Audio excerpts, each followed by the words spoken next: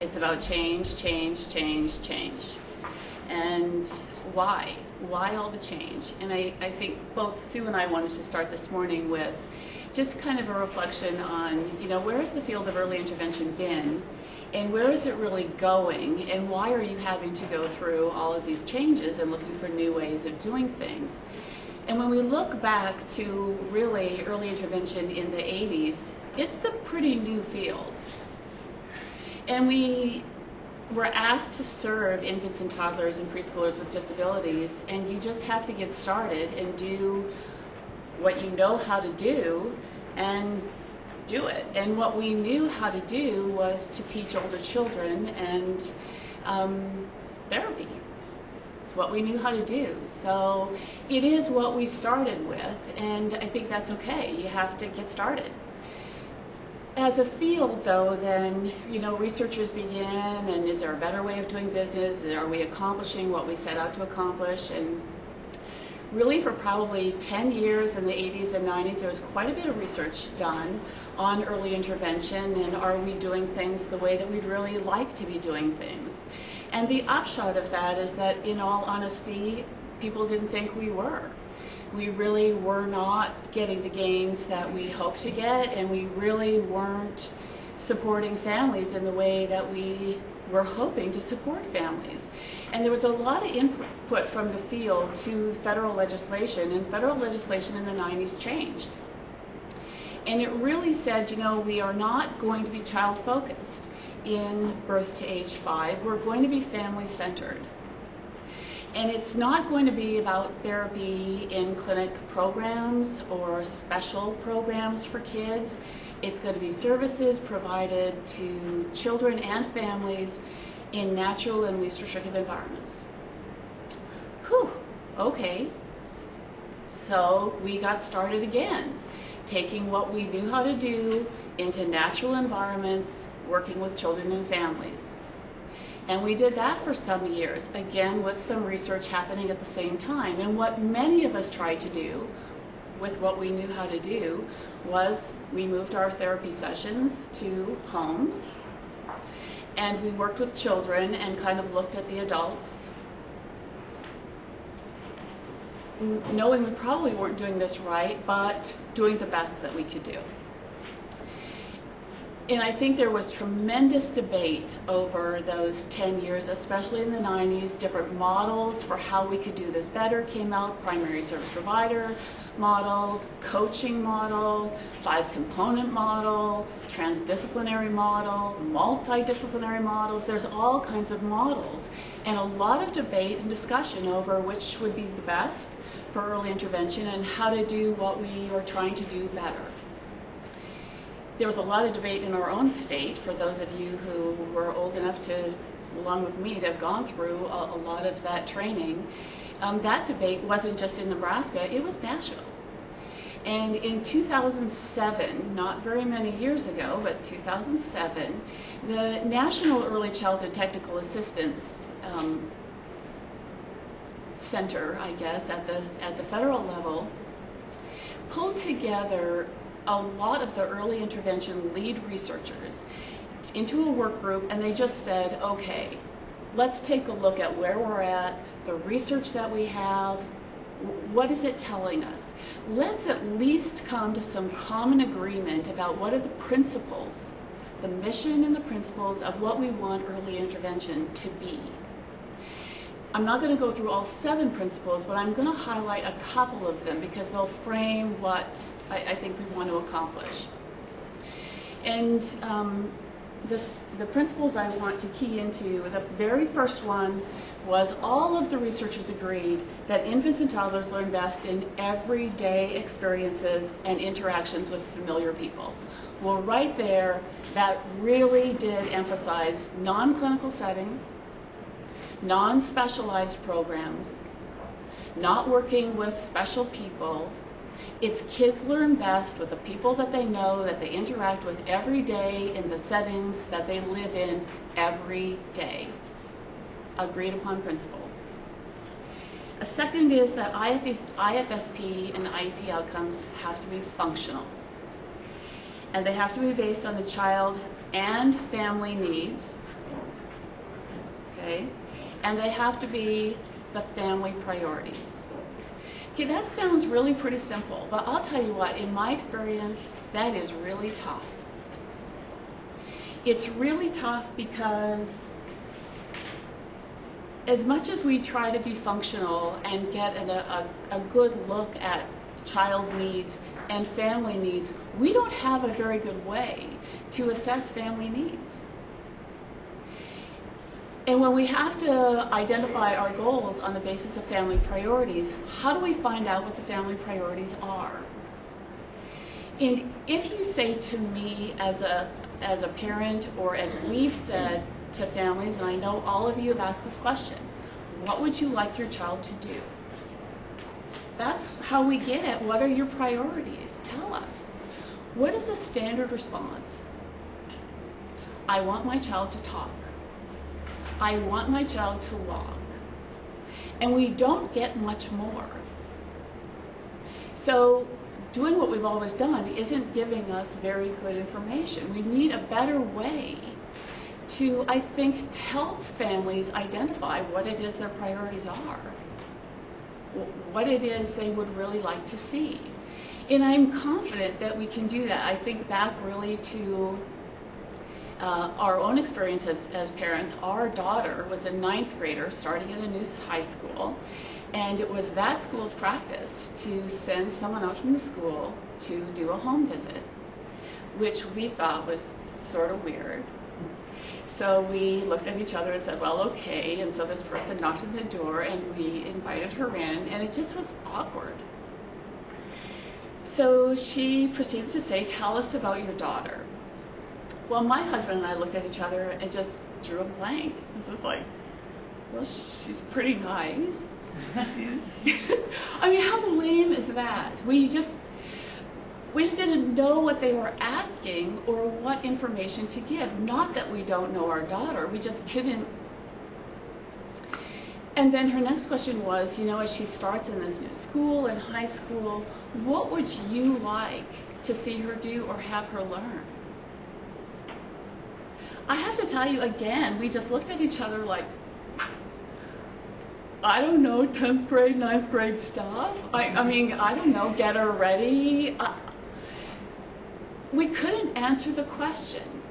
And I, I, I immediately, just in that situation, thought back to all of those families that I asked those questions. And I thought it's not that they don't know, and it's not that they don't know their child, it's that we're not asking the right questions, or we're asking the question in a way that's not giving them enough of a framework to give you what you're looking for. And so I, I think we have to find a better way of, of doing that. The other key principle I wanted to just address is family priority needs and interests are most appropriately addressed by a primary service provider. It's an agreed upon principle by the leading researchers in early intervention in our field over the last 25 and 30 years. Do we ever struggle with that? And it's a struggle nationwide and it's a struggle in our state. But I guess I just want to highlight there it is. The National Early Intervention Researchers all agree as a principle that primary service provider is the best way of accomplishing what we want to accomplish in early intervention, which is not child focused, it's family centered, and it doesn't happen in clinical settings with professionals. Intervention really happens at home and in child care centers and in parks with the people that those kids live with. It's a different animal and it requires different tools, different strategies, different ways of doing business that many of us are just simply not trained in, and we don't know the questions to ask or the tools to use. So here we are today, trying to figure out what, what to do next. I think as a state, we've looked at those seven principles, the three of which I've highlighted, but I want you to go to the NECTAC site and or a website that we'll, we can talk about in a little bit to really to, to read through those seven principles. And they're really important to us because Nebraska, as you know, does not mandate that you use a particular model. We don't mandate that you use certain tools or processes, but we do promote the use of tools, practices, processes that line up with those seven principles. So the tools that we share on the website or process that we talk about or things that we put money into for trainers are things that we truly believe will help us do early intervention better and that they match up with those seven principles of early intervention. Um, I think that it's really important that we, our focus really today and and on the website as well, and the technical assistance that we're providing in the state, is primarily focusing in two areas, and that is intake and assessments. Why? I think really the intake process is, is for two reasons super important. One is that it sets the stage for what families can expect. Just like our, our visit from that high school, it it set the stage. We at that at that little visit lasted about 20 to 30 minutes, and we have my husband and I have never forgotten it. Ever. It's this happened probably 10 years ago. We've we've never forgotten it. We remember the person. We remember the questions she asked. We remember what she told us about that high school. It's that first intake where it's critically important that we set the stage for what the process is going to be. The second reason is that it's really the place that we probably need to do better than we have been doing in terms of finding out about informal supports. What's the big deal about informal supports? That's why we're promoting, you know, the use of an eco-map or some way of talking with families to get at what their formal and informal support systems are. So why? Why is that critical? Well, in going back to my example with, you know, once Meg left our home, what do you think happened? My husband and I looked at each other and said, holy mackerel, can you believe that? We start nitter nattering about this, this person, about the school, about the process. It's not 10 minutes and the phone rings and it's my mom. How did it go? Right? I mean, how, how did it go? I can't believe it. And at, you know, work the next day, what am I sharing over noon? Yes, you came to our house yesterday. That's what happens. And you start, and we did, we started to just feel out. So what are, what are, what do people who are important to us think about what we just went through? It's even more important in early intervention when you're going into their homes and you're telling them and giving them information and recommendations and suggestions.